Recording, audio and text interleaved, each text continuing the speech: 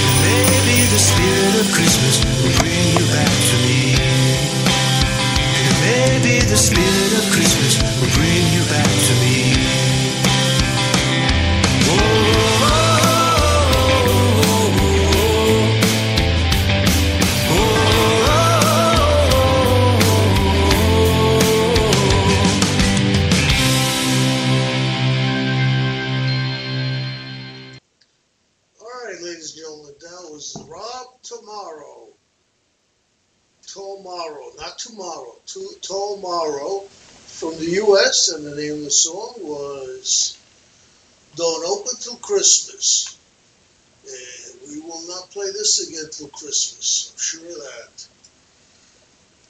Anyway, uh, Dr. Marc is that hiatus? Hiatus? What's the word? I can't pronounce anything today. Decided to take off. Where'd you go?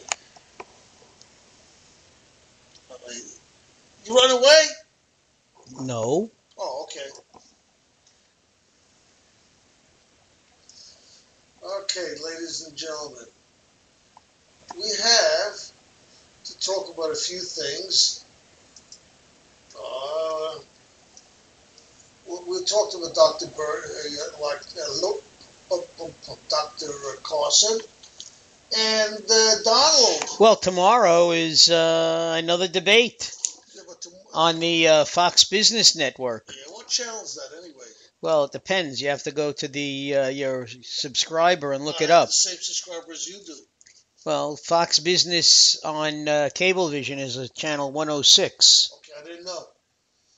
Yeah, but we're talking to people who have different I servers, understand that, but I just asked you. There are people from New York that listen to us.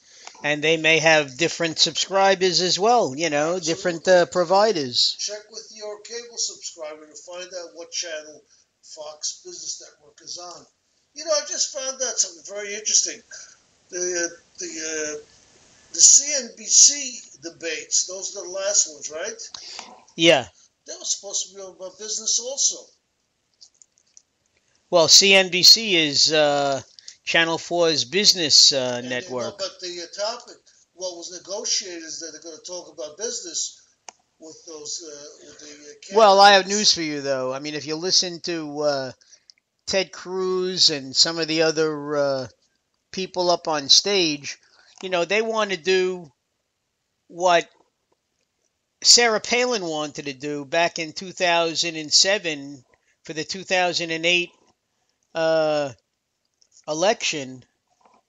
She wanted to have them submit questions ahead of time and she would decide which question she would answer and which question she didn't have to answer. hear that again, but Yes. It didn't happen. All They- I'm saying is CNBC is supposed to ask business questions.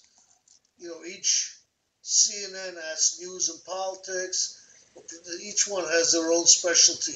Well, they were all the first two were all news and politics. And then the next one was supposed to be business. I don't think they spoke about business at Well, all. CNBC was supposed to be business, but uh, The, uh, well, don't forget that was also well, but that was because the uh, the moderators sort of lost control of the uh, debate because uh, the P, the so, so-called debaters, those people who are running for want to run for president, uh, were busy arguing with the news people as opposed to, you know, answering questions. because the questions weren't about business. Uh, I don't think it had anything to do with that. No, it was, it was, the questions were not, you know, were not relevant to what the, that, that night's supposed to be. I'm not saying Well, according to whom?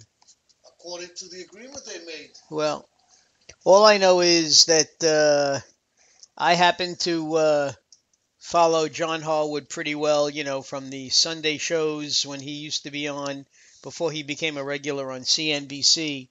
And uh, I know that he happens to be a very good uh, journalist, you know, and uh, he took a lot of heat from, uh, you know, the 10 people that were on uh, the stage, you know.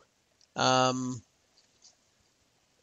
and then again, you know, you got somebody like the Donald who was asked a question and twisted it around and got an applause line, but a half hour later, Becky Quick realized, found the exact quote that he claimed he never made, but it was a bit late already because he had already gotten the applause line for it, you know? But still, again, we should they should have stuck to the to what they were supposed to stick to. That's I mean, if Democrats, Republicans, Well, I know- anybody stick to what they say, agree to. That's what they're going to talk about. That's what you talk Well, about. Democrats have nothing to do with this. Why Well, do you mention debate- Democrats? When they get when they have debates, the same respect should be given to the Democrats. Well. I actually liked uh, Friday's forum with Rachel Maddow, not because it was on MSNBC, but because rather than have it be a debate, she actually spent 20 to 25 minutes, a, a good 25 minutes one on one with each of the uh, three Democratic hopefuls, Mhm. you know, uh, basically asking them questions uh, and giving them a chance to respond, you know. I Now I know that uh, on Fox Business, uh, Neil Cavuto is supposed to be uh, very knowledgeable, and Maria Bartiromo is also very knowledgeable. So we'll see what happens tomorrow. You know, I'm sure that we will uh, we will have a little report on it on Friday. It's supposed to be business again, I think. As Well, Fox Business Network, yeah. Yes, as long as it stays to business, it'll be it'll be fine. I think. Uh. Well, when you talk about, you know, I would anticipate that uh, the Donald will uh, probably shine in tomorrow's debate because he's probably the most successful businessman of any of them that are up there. You know, and and, women. and I'm I'm sure that uh, well, I'm sure that uh, Ben Carson will be asked certain questions based upon his autobiography. Uh, he was also in the business. You know, he's also the, the CEO for a while of a company or something. I don't know where. He has he has some business experience. so we'll uh, we'll see what happens. You know. We uh, watched Saturday. I didn't watch Saturday Night Live, but I think you did. No, I didn't. You didn't watch it either. No. I was busy with Chad. Didn't have a chance to, uh, you know, set it up, and uh, I was watching other things, so I didn't watch it. But from what I heard, it was funny, but not not one of the not the funniest show. But it was It got mixed reviews. but it was very successful as far as viewing audiences. It did very well. Uh, yeah, I think it, I think it was. I think it was. The highest uh, viewing the last three four years of the Or to uh, to use uh, Donald Trump terminology, it was huge. It was huge. Everything with him is huge. well, you know, he does he does express himself a little differently than some other people, and uh, he does have a good counterpunch, as they say. Well, look, you know, he, he's a good host for something like that because he enjoys uh, a good joke at his own expense. Know, he likes, he obviously likes, he likes the limelight.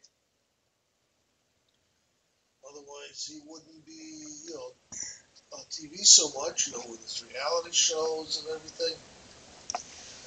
Well, let's put it this way, you know, he uh, it's already uh, November, one more year to go before the election, and he seems to be still uh, in uh, far ahead of anybody other than Carson. He and Carson seem to be running neck and neck, you know. And everybody said he would be out by now.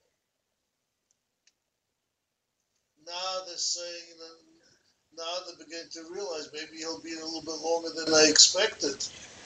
Well, that plus the fact that uh, you know Carson has to learn how to take you know a hit every now and then, and sometimes it might even be a cheap hit, a cheap shot. But uh, you know this is what politics is. Well, I think he handled himself basically all right. I don't really see where he really got hurt. Well, he was he was trying to uh, turn it to his advantage. For the most part, I think it worked.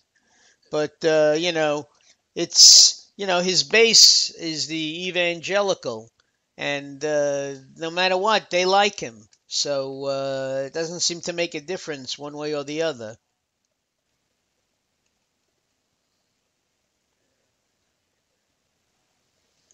And let's see, uh, a few people got eliminated from the uh, Uh, Chris Christie is uh, on the uh, junior. the junior. Uh, Jindal is no longer even uh, on at all. Huckabee's on the junior team.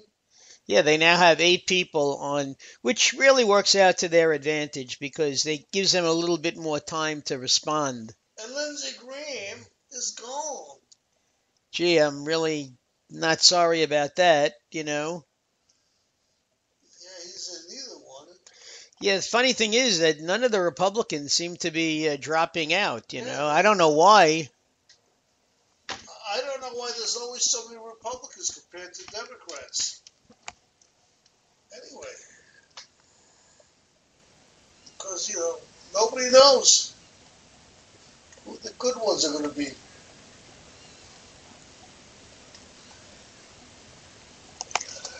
Well- let me ask you over here. You have something you wrote in. Okay, and I was looking at it. And it must be my uh, my bad eyesight.